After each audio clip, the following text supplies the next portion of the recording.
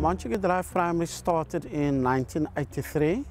Next year will be our 40th anniversary. There's a lot of community involvement. Some of the parents took the kids that lived a bit far, they would take them home. This container you see at the back is part of our neighborhood watch. It's also a collaboration between the school and the neighborhood watch. So today we're here at Montagu Primary where we've officially opened or handed over the food garden to them.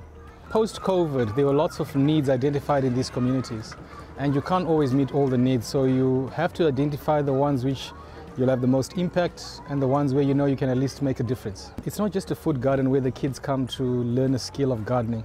This food garden will supply meals to the school and hopefully we'll be able to be that source of nutrition for them. This word empowerment and in particular I think about youth empowerment which truly stands for what we represent as the JP21 Foundation. Primarily we involved in cricket in that partnership with PPC but I love the fact that we're able to diverse our impact. And as we see here behind us, this is a food garden. The whole idea behind this is about sustainability. The vegetables that are currently growing in the garden is cabbage, mustard leaves, turnips, chilies and onions. Our feeding scheme, we feed about 250 pupils on a, a daily basis. Most of the food is provided by the Peninsula Feeding Scheme and we also supplement that with things from the garden. So they get fed a breakfast in the morning and a meal around about 10, 11 o'clock uh, daily. So there's, there's a number of schools uh, that uh, participates in the JP21 Foundation League.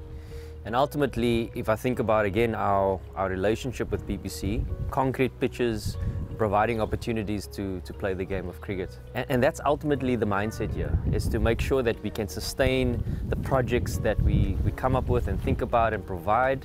And this food garden is just a great platform for them to do that.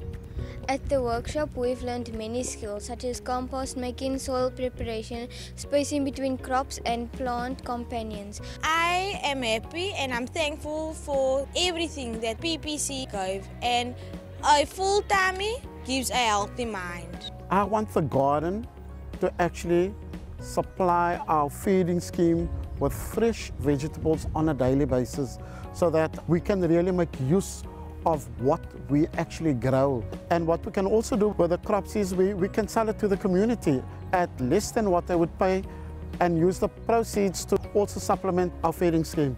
So PPC, we're a company that really cares about our communities. You know, when you hear us talk about our purpose and why we exist, we exist to empower people to experience a better quality of life. And it's been displayed here today.